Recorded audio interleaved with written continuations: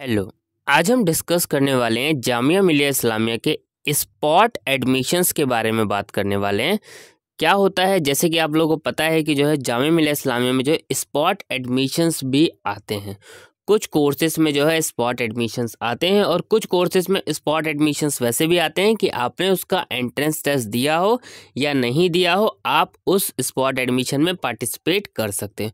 उसके अलावा भी बहुत सारे कोर्सेज हैं जो कि स्पॉट एडमिशन्स जो है आते हैं।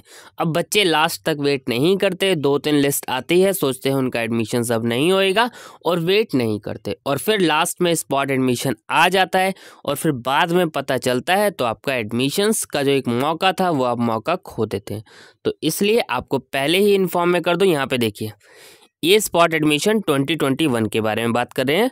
Notice for online registration. अब यहाँ पे देख सकते हैं आप कितने कोर्सेज और स्पॉट रजिस्ट्रेशन करने के लिए आपको ज़्यादा दिन नहीं दिए जाते।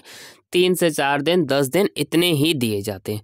तो देख सकते हैं कितने कोर्सेस में स्पॉट एडमिशन जो है आया था।